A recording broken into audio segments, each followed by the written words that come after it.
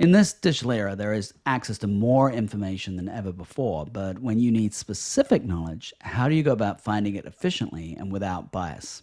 Personally, I use three phases to get smart quickly, but today I'm going to focus just on the first one the search phase.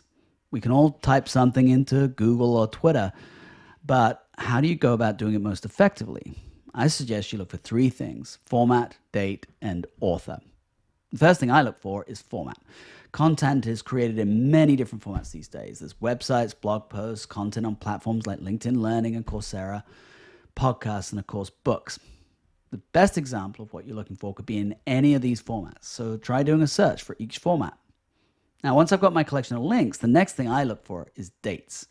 Why? Well, the internet, and particularly Twitter, can have a severe case of recency bias. So, unless you're dealing with a rapidly changing field, some of the best stuff might be years old. After all, wisdom didn't get invented in 2019. So take a look at the dates and see if you can find what the others miss. The last thing I look for in the search phase is authors.